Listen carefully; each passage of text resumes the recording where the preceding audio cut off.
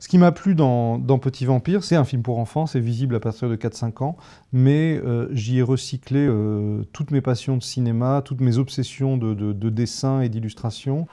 Petit Vampire. Pour le Capitaine des Morts, qui est, une, euh, qui est le, le, le Hollandais volant dans, dans Petit Vampire, donc le capitaine du vaisseau fantôme, je, je me suis beaucoup inspiré de, de, John Neville dans Le Baron de Munchausen.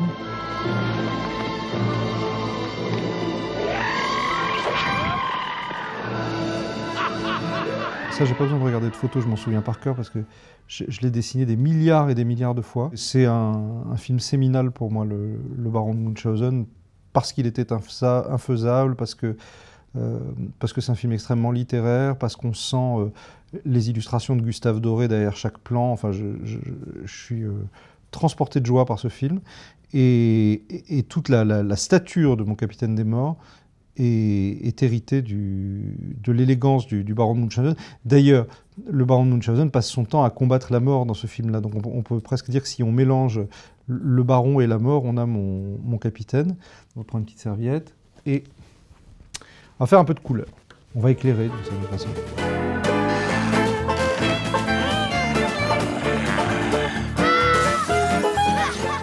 Capitaine des morts, euh, qui est la figure paternelle du monde de Petit Vampire. Donc il, il a une tête de mort, mais c'est pour faire peur aux méchants. Euh, il a la tête d'ailleurs assez vide, donc il oublie la moitié des choses. Il est vraiment dans la lune. Euh, il faut que ce soit les gosses et sa femme qui, qui, qui tiennent la baraque, parce que lui... Euh, lui, il est liquide, quoi. Chut Le cinéma, oui, le cirque, non Chut, chut. Et si ça continue comme ça, j'annule le cinéma. Toute l'histoire du Capitaine des Morts, c'est l'histoire de ce type qui, qui, erre sur les océans et qui cherche une femme prête à mourir pour lui.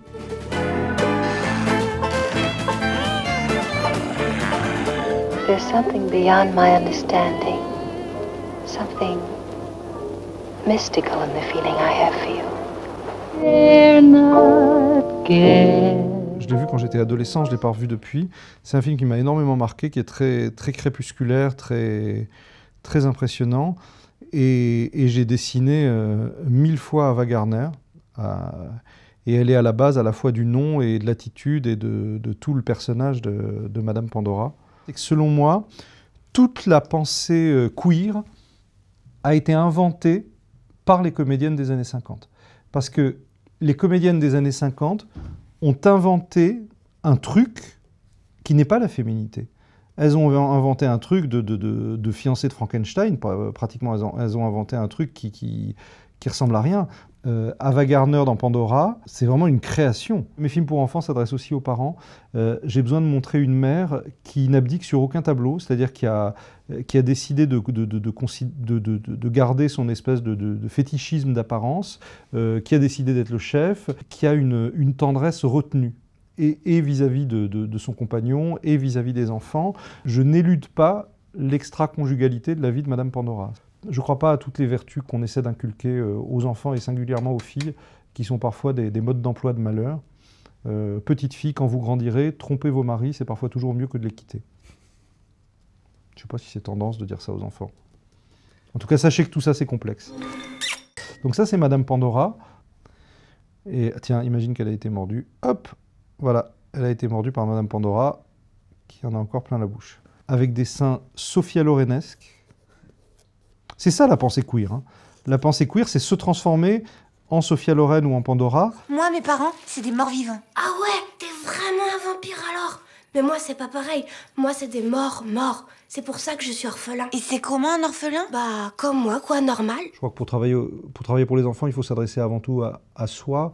Euh, J'ai eu la chance d'avoir des, des traumatismes joyeux et des traumatismes tristes qui, qui, qui mettent une enclume sur mon enfance, qui font que j'y suis pour toujours. Et je vis pas ça comme une prison, je vis ça comme un, comme un ferment.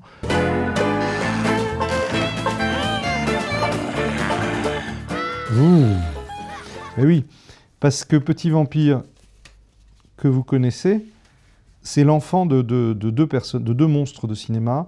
C'est l'enfant du Nosferatu de Murnau et du Peter Pan de James Matthew Barry d'abord, puis de Walt Disney. Il y a une chose vraiment très belle dans le, texte de, de Barry. Il explique que euh, toutes les mamans ont au coin des lèvres un baiser que leur mari n'a pas été fichu d'aller chercher. Et, lui, Peter Pan, c'est un peu son ambition, c'est d'aller chercher ce baiser que sa mère n'a pas pu lui donner parce que lui, euh, il est descendu de son berceau pour aller avec les fées dans le jardin de Kensington. Et donc, quand il a voulu rentrer chez lui un an plus tard, le berceau était déjà pris par un autre enfant. Je suis fasciné euh, par ces figures dionysiaques et enfantines qui refusent le passage du temps. Et chez moi, je crois, le, Peter Pan et le Nosferatu ont énormément en commun, puisque ce qu'ils ont en commun, c'est la gourmandise. Peter Pan veut un baiser et Nosferatu veut, ton sang.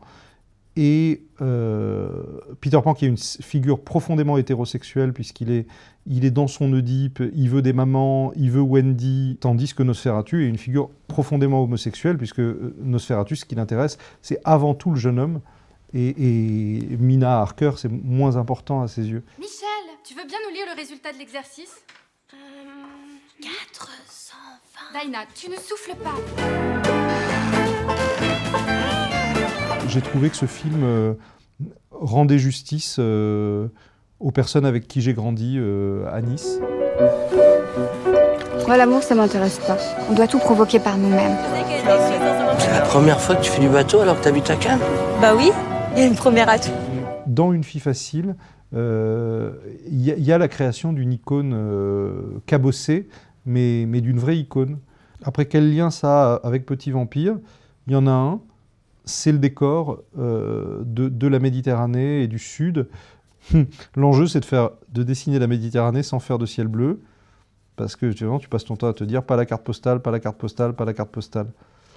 Ce sont les filles avec qui j'ai grandi et dont j'étais, euh, comme la plupart de mes camarades, euh, désolé qu'elles ne veuillent pas de moi, qu'elles veuillent. J'ai eu la chance d'être beaucoup l'ami de ces filles. Ces filles qui ont euh, parfois redoublé trois fois, qui, qui se retrouvent un petit peu par erreur dans le système scolaire alors que leur vie est déjà ailleurs, et, et qui sont avec, avec des hommes beaucoup plus âgés que les écoliers qui sont, qui sont avec elles. Ça a été chez moi des, de vraies occasions euh, de rêve, euh, d'amertume et, euh, et de camaraderie. Ça se jette sur le papier, l'aquarelle. Et après, quand le dessin est pourri, ça se jette à la poubelle. Y a pas grand chose à faire dans cette maison, à part les tableaux qui t'entraînent dans d'autres mondes, les bagarres au sabre dans la salle d'armes et le bateau de pirate.